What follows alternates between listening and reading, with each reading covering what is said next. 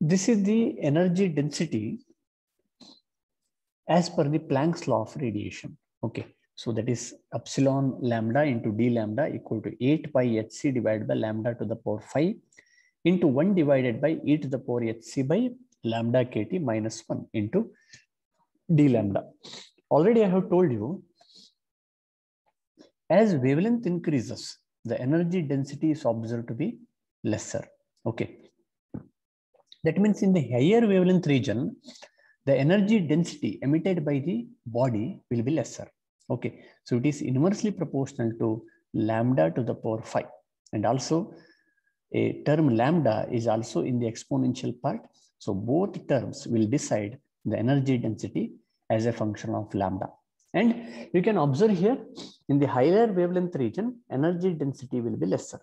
Okay, so it is inversely proportional to lambda to the power 5.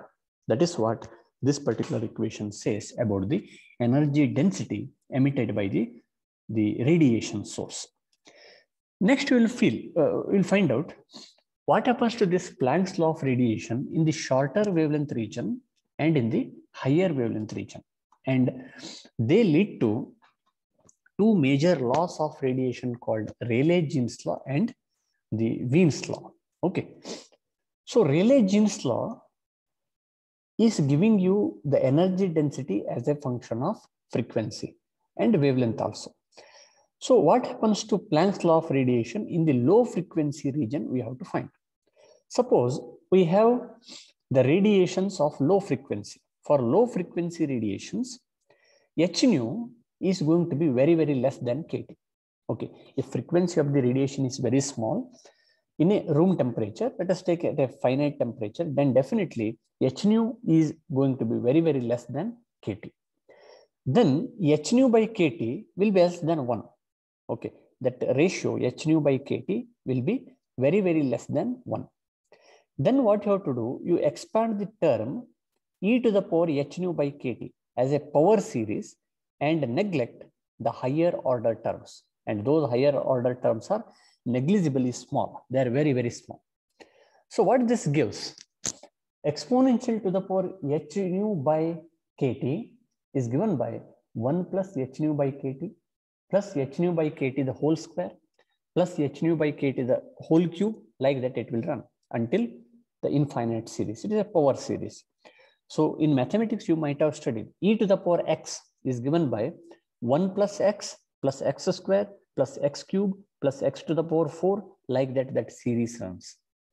So exponential to the power h nu by kt is given by 1 plus h nu by kt plus h nu by kt square plus h nu by kt the whole cube etc.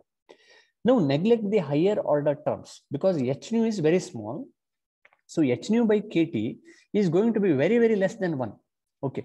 If you take the square of the number which is less than 1, that will give you much smaller value. So therefore, I will consider only first two terms as a some having certain value and all other terms are very, very less compared to 1. And therefore, this exponential to the power h nu by kt is nearly equal to 1 plus h nu by kt. Okay. Then substitute this uh, in Planck's law of radiation. So we know that Planck's law of radiation in terms of frequency is given by the energy density epsilon nu d nu equal to 8 pi h divided by c cube into nu cube divided by e to the power h nu by kt minus 1 into d nu. Substitute for this e to the power h nu by kt as 1 plus h nu by kt. So what you will get? 1 plus h nu by kt minus 1, 1, 1 gets cancelled. You left with only h nu by kt. Okay, then cancel the terms corresponding to uh, h gets cancelled, Planck's constant. And finally, the energy density in terms of frequency is equal to 8 pi kt divided by c cube into nu square into dv. So in the low frequency region, the energy density is directly proportional to frequency square, square of the frequency. And that is called as Rayleigh-Jeans law. So this particular law is called as Rayleigh-Jeans law. Therefore, at a low frequency approximation, Planck's law reduces to Rayleigh-Jeans law. Okay, so Rayleigh-Jeans law says that in a low frequency radiation region, the energy density is directly proportional to frequency square, square of the frequency of radiation. That is called as Rayleigh-Jeans law. Much particular case can be understood by expressing this energy density in terms of wavelength lambda. So you know that nu is equal to c by lambda, okay, because velocity is frequency into wavelength. Therefore, frequency equal to velocity by wavelength. So substitute here and then d nu will be equal to c by lambda square into d lambda. Okay, so if you differentiate this equation by taking c as a constant, d nu is equal to derivative of 1 by lambda is 1 by lambda square. Therefore, d nu is equal to c by lambda square into d lambda. Okay, substitute here, substitute for nu and substitute for d nu. Okay, you will get the energy density in terms of wavelength lambda, and that will be equal to 8 pi kt. For nu square, you substitute c square by lambda square, c square by lambda square into c cube into for d nu, you put c by lambda square into d lambda. So c square into c, c cube, c cube gets cancelled. So if you cancel that c, finally you will come to know that this energy density epsilon lambda will be equal to 8 pi kT divided by lambda to the power 4 into d lambda. Okay, so this is Rayleigh-Jeans law in terms of wavelength. Okay, so Rayleigh-Jeans law says that energy density is directly proportional to 1 by lambda to the power 4. Okay, so much decrease in energy density is observed for higher wavelength region. For low frequency radiation means it is a higher wavelength radiation. Frequency and wavelength are inversely proportional. So you can observe here.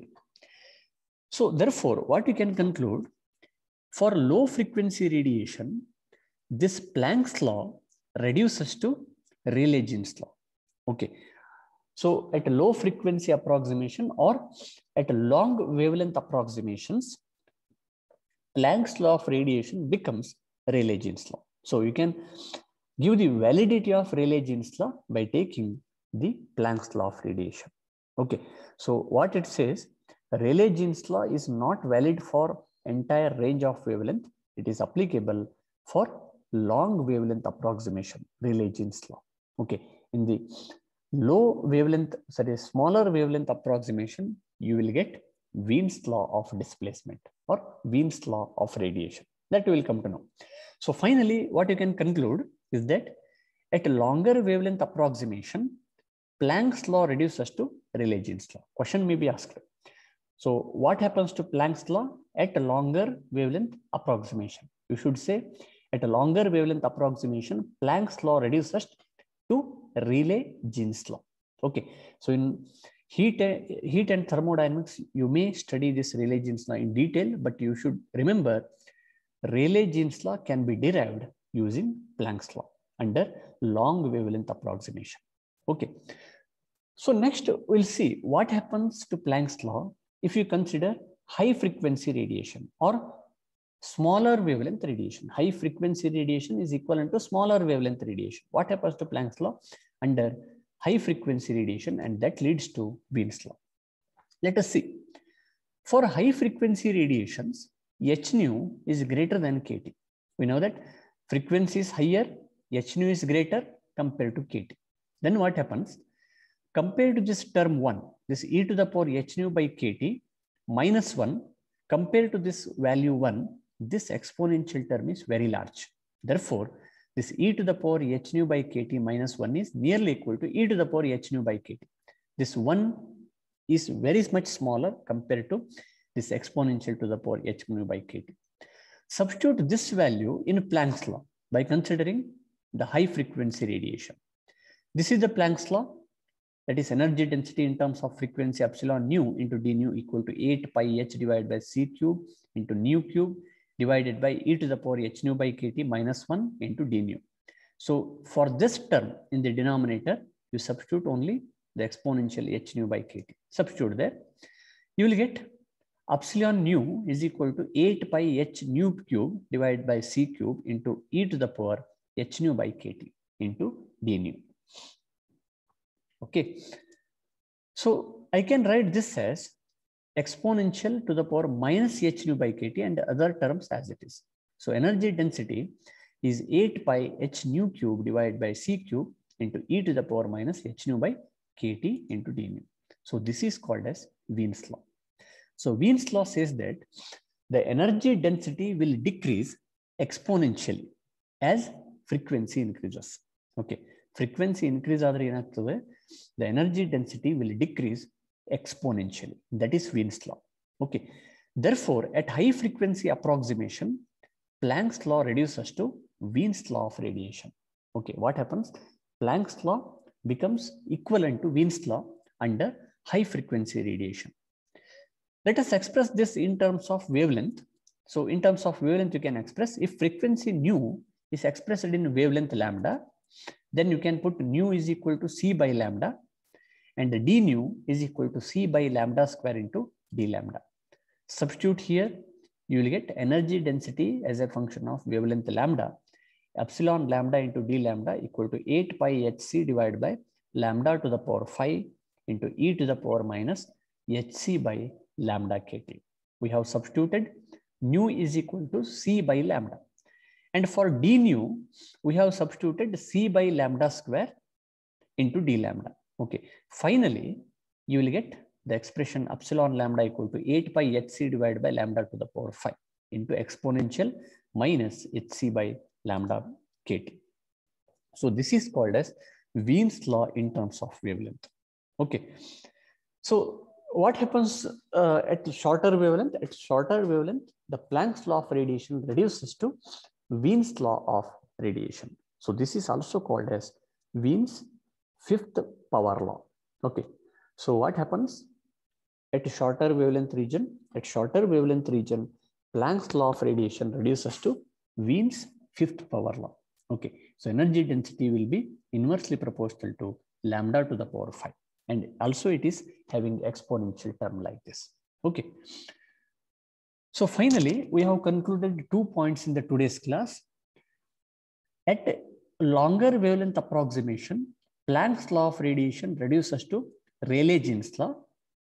And at sh shorter wavelength approximation, Planck's law of radiation reduces to Wien's law. Okay, so these two points you have to remember.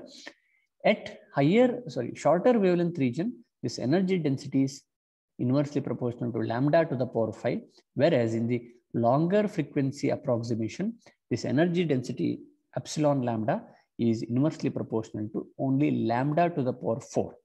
Okay, no exponential term. Note the difference between these two.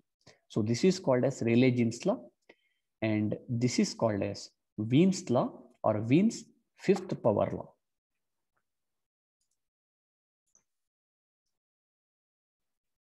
You consider this particular graph. This graph shows you the energy density emitted by the certain body as a function of frequency. Okay, and here Rayleigh-Jeans law, Planck's law, and Wien's law, all three laws are represented in this particular graph. You observe here at a very low frequency, the Rayleigh-Jeans law indicated by this particular curve, this dotted curve. So it shows that the energy density continuously increases with frequency. As frequency increases, this energy density continuously increases. Planck's law of radiation shows that it increases first, then reaches maximum, then exponentially it will decrease. That is in accordance with the Planck's law. If you plot the graph using the expression given by Planck, whatever we have derived in the previous class, ಅದನ್ನು ನೀವು ತಗೊಂಡು graph ಹಾಕಿದ್ರೆ you will get same graph like this. If you take Wien's law of radiation, it shows this particular curve, this dashed curve.